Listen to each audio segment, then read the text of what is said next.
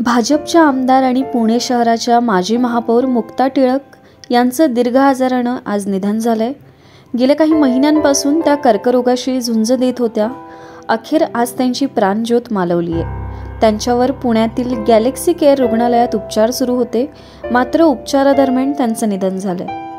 कसबा विधानसभा मतदारसंघाच्या आमदार आणि माजी महापौर मुक्ता शैलेश टिळक यांचं आज दुपारी साडेतीन वाजता निधन झालं उद्या सकाळी त्यांचं पार्थिव अंत्यदर्शनासाठी नऊ ते अकरा या वेळेत केसरीवाडा येथे राहत्या घरी ठेवण्यात येणार आहे. अंत्यविधी वैकुंठ स्मशानभूमी येथे सकाळी अकरा नंतर होणार आहे.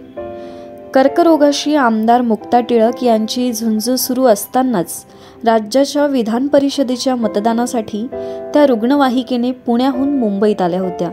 त्यानंतर व्हीलचेअरवरून विधानभवनात दाखल होत आपल्या मतदानाचा हक्क त्यांनी बजावला होता. पुण्यातील कसबापेठ मतदारसंघाच्या त्या विद्यमान आमदार होत्या. भाजप वरिष्ठ नेत्यांपैकी एक असलेल्या मुक्ता टिळक यांनी पुण्यात अनेक सामाजिक उपक्रम राबवले आहेत.